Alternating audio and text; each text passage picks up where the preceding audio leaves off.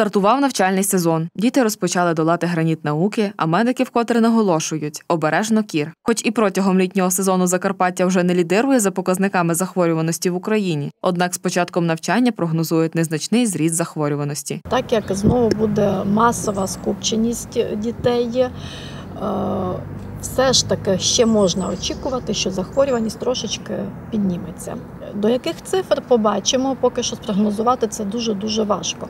Враховуючи і те, що вже велика кількість осіб перехворіла, враховуючи те, що все ж таки вакцинальна кампанія тривала, щепилося досить багато дітей. Будемо сподіватися, що це будуть невисокі цифри. Берегтися від недугу можна насамперед. Метод профілактики, вакцинація. Лікарі кажуть, вакцин від кору нині вистачає. Наголошують, щеплення можуть робити як діти, так і дорослі. Вакцинована людина вона захищає як себе, так і ту людину, яка не має можливості вакцинуватися по медичних показах. Бо є люди, які ну, по стану здоров'я їх вузьке коло, але вони не можуть щепитися.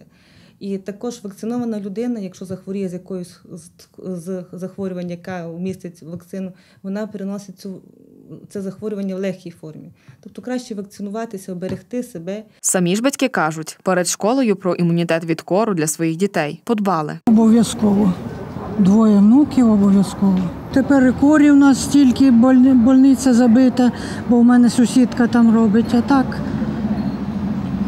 нормально, діти почувають себе. Ми довіряємо вакцинам, і мої діти зроблять всі привиті. Ми маємо всі прививки. Я вважаю, що всі повинні зробити прививок.